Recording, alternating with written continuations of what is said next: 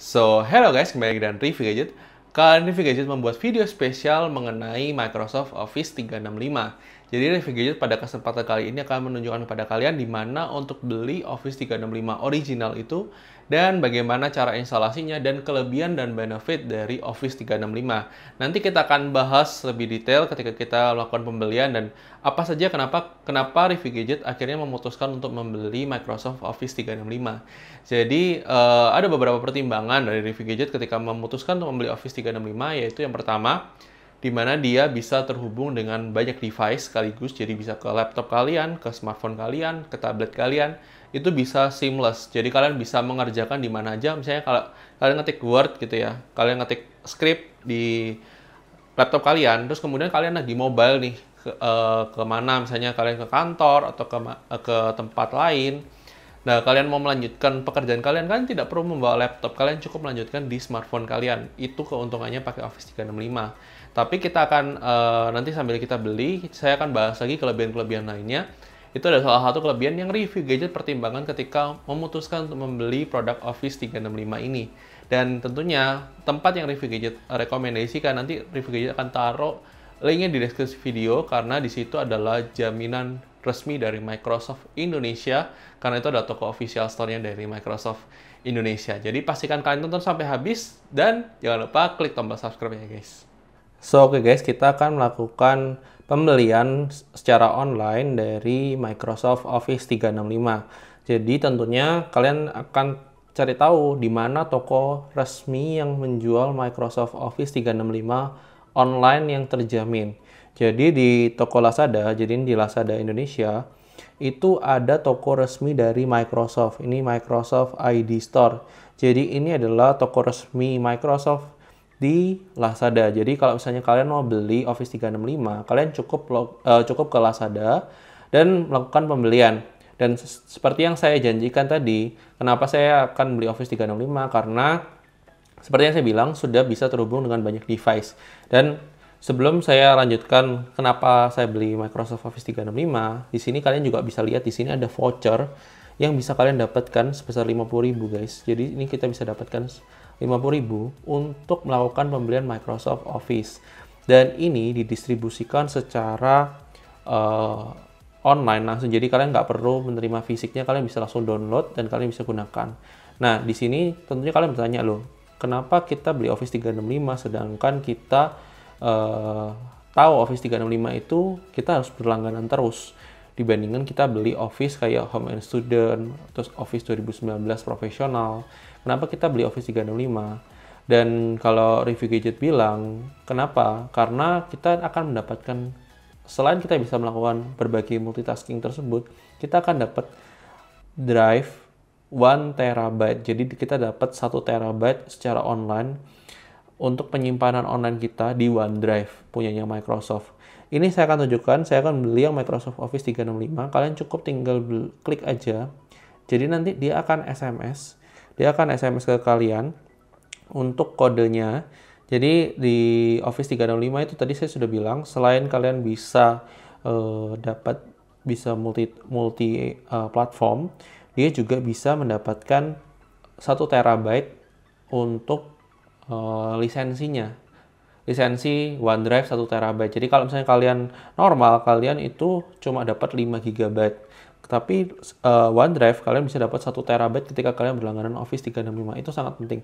Nah, ini caranya kalian beli, kalian cukup uh, buka ini di digital software Microsoft 365 personal ataupun yang family tergantung kalian butuhnya family atau personal. Kalau personal itu kalian cuma bisa dapat 1 terabyte untuk satu user ID. Kalau family, kalian bisa dapat 6 user ID dengan masing-masing dapat 1 terabyte. Jadi kalian nggak perlu lagi beli hard disk eksternal, kalian cukup upload semuanya, bahkan foto-foto kalian pun bisa diupload di OneDrive tersebut.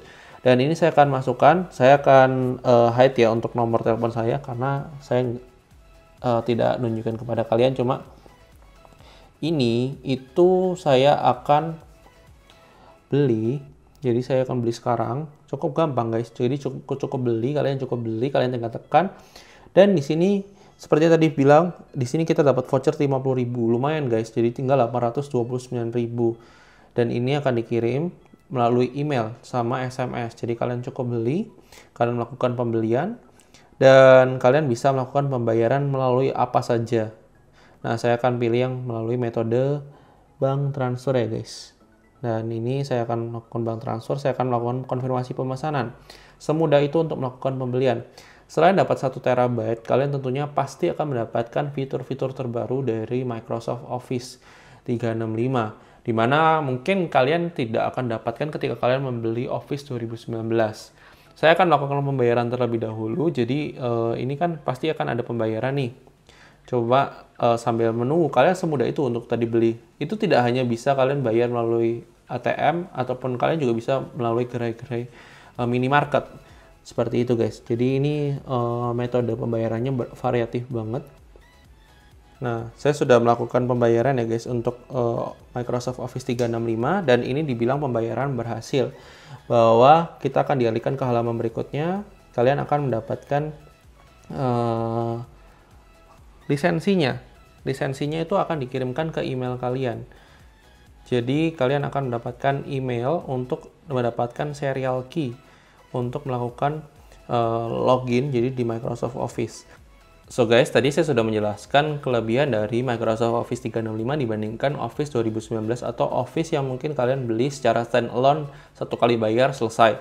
Dan ini adalah contoh kelebihannya. Kalian bisa lihat di sini bahwa di sini itu jumlah pengguna untuk personal bisa satu orang, bisa Windows, macOS, Android, iOS. Kalau ini cuma kalau Home and Student ini anggapannya perwakilan dari Office profesional itu cuma bisa satu PC atau Mac.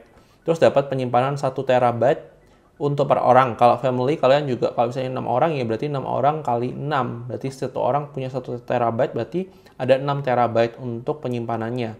Terus kemudian kalian dapat Word, Excel, PowerPoint. Terus kemudian kalian dapat Outlook. Terus kemudian uh, dapat akses publisher dan akses ini untuk uh, hanya untuk PC ya guys. Jadi untuk uh, laptop aja. Kalau misalnya dukungan teknis ini semua dapat. Jadi kurang lebih perbedaannya seperti itu dan tentunya pasti akan kalian mendapatkan prioritas ketika kalian untuk melakukan pembelian Office 365 karena dia akan mendapatkan update-update software yang mungkin fitur-fiturnya kalian akan butuhkan ke depannya. Kalau secara basic sebenarnya semua sama, mau Office 2019, mau Office 365 untuk ketik-ketik Word, Excel, PowerPoint itu semua sama, cuma ada penambahan-penambahan fitur yang mungkin tidak akan diupdate di Office 2019. Mungkin baru diupdate di 2022, sedangkan Office 365 itu selalu akan terupdate guys fitur-fiturnya. Itu aja sih. Kalau misalnya kalau misalnya kalian uh, mau itu gampang banget guys. Jadi kalian tinggal beli dari Microsoft uh, Store resmi. Jadi ini di Lazada ini ada Microsoft resmi. Jadi nanti dia akan kirimkan ke nomor telepon ke nomor teleponnya kita maksimal 24 jam. Jadi dalam waktu 24 jam. Jadi ketika kita beli memang nggak akan langsung terima, tapi kita sudah mendapatkan uh, kodenya nanti selama 24 jam itu memang harus menunggu karena mungkin ada proses begitu banyak pembelian dari Microsoft Office ini. Jadi uh, kalau menurut Gadget itu sangat gampang untuk pembeliannya dan ini sudah dimudahkan. Kalian tidak perlu lagi menunggu secara fisik, kalian bisa download, kalian bisa login, kalian bisa gunakan dan semudah itu guys. Tapi kembali lagi, ini adalah pendapat dari Gadget, mungkin bisa berbeda. Silahkan terus pendapat kalian di kolom komentar. Jangan lupa di like, di komen, dan subscribe ini. Dan kalau misalnya kalian punya pertanyaan mengenai uh, pembelian lisensinya ini seperti apa, silahkan terus di komentar, tanya di kolom komentar. Atau kalian juga bisa tanya di sosial media Review Gadget. Oke guys, sampai ketemu di video selanjutnya. Bye-bye.